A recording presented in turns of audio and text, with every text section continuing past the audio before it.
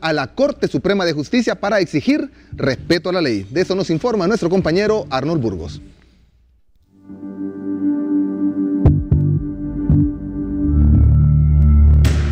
A las 11 de esta mañana fueron citados los miembros del BOC. Un grupo de ellos atendió la invitación y se apostó frente a las instalaciones del Poder Judicial. Arnold, aquí lo que estamos pidiendo es solamente respeto a la ley.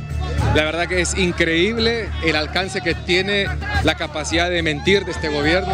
Confiamos cuando vimos la comunicación de la presidenta de la Corte Suprema de Justicia que no iba a tomar este paso de ilegalidad y lastimosamente lo ha hecho.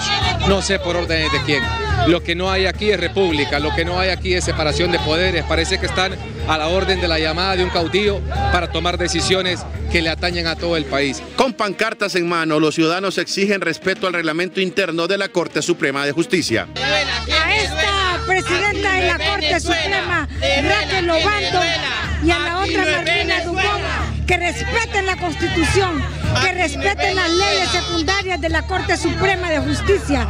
Ya dieron el primer salpazo que fue el Congreso Nacional, ahora se quieren apoderar de la sala constitucional, después se van a apoderar de la justicia en Honduras, politizándola y después va la dictadura. Mire, aquí lo que tenemos hoy es una convulsión de los poderes del Estado, propiciado por el partido oficialista, ya que quiere imponer en el abuso y el exabrupto de la fuerza quedarse con los poderes, pero con solo una consigna, eliminar a la oposición, callar a la sociedad civil, callar a los medios de comunicación para perpetuarse en el poder e instalar su agenda ideológica como lo hemos venido diciendo en dos años.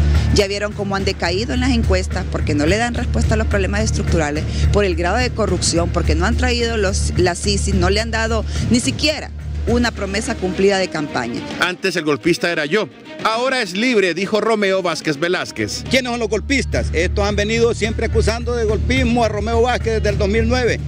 Pero es lo mismo que estaban haciendo ellos ahí en el 2009, abusando del poder, dándole de golpe de Estado a la democracia, dándole golpe de Estado a lo que es eh, el, sistema, el sistema republicano y queriéndonos llevar a una dictadura tipo socialista que conlleva la pérdida de todas las libertades y conlleva también la concentración de poder en las manos de unos, de unos pocos. Y eso es lo que están haciendo.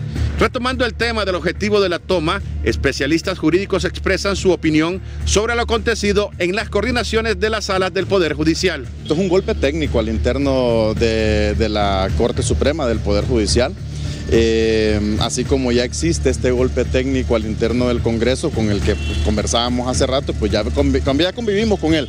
Y en este vamos a tener que convivir. Desgraciadamente los políticos nuevamente hacen de las suyas y pues terminan haciendo lo que quieren con nuestro país sin importarles lo que en realidad se debería de, de seguir, que es un orden de precedencia que ya estaba establecido en el 2022 por esta misma Corte.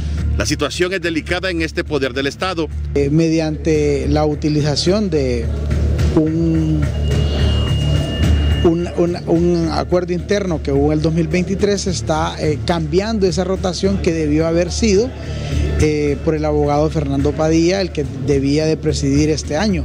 Pero eso no quita que el próximo año pues él pueda ser elegido puesto que ya se hizo una elección.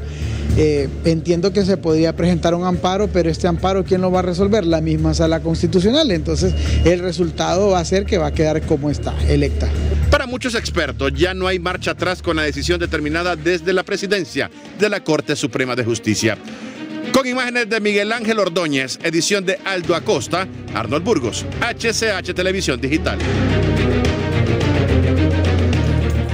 Y el expresidente Porfirio Lobo Sosa se ha pronunciado también a través de la red social X en torno a lo que ha ocurrido.